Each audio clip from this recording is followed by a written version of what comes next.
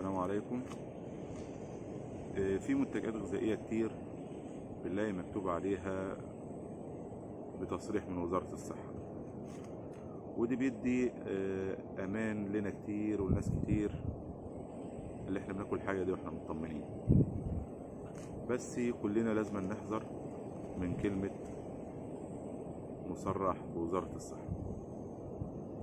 آه، مش العيب في وزارة الصحة أو الهيئة الغذائية. مش قصدي كده خالص.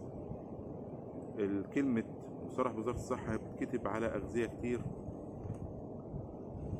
آه، زي المياه الغازية البيبس والاندومي وكل المواد الغذائية بما فيها مواد حافظة وغير مواد حافظة. بس مش معنى كلمة مصرح بوزارة الصحة إن ال... إنها مفيدة أو صحية فعلا أو تقدر تاكلها وأنت مطمن ما يحصلش منها ضرر. آه، معنى كلمة مصطلح وزارة الصحة إن المواد الموجودة فيها هي مواد غذائية لا تضر. ونفعل حتى لا تضر لأن لا تضر كمادة كمعروف مادة يقول لك مثلا فيها دهون، ما الدهون ما إحنا بناكل دهون لا تضر. فيها مواد حافظة ما إحنا في نسب مواد حافظة بناكل لا تضر. مواد غذائية زي اليانسون إحنا بنشرب يانسون الكركديه الكاكاو ده أي أعشاب إحنا بناخدها دي معنى لا تضر.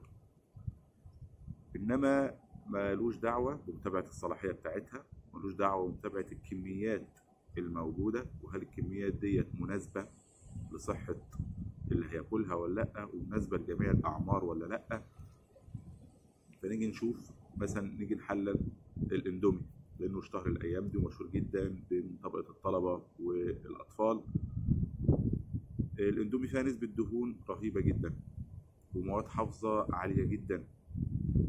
والحاجتين دمت والتوابل الموجودة فيها والمواد الحافظة والدهون كفيلة إنها تسد الشرايين بتاعتك كفيلة إنها تعمل لنا وفي دراسات اللي هي ممكن تؤدي لسرطان القولون.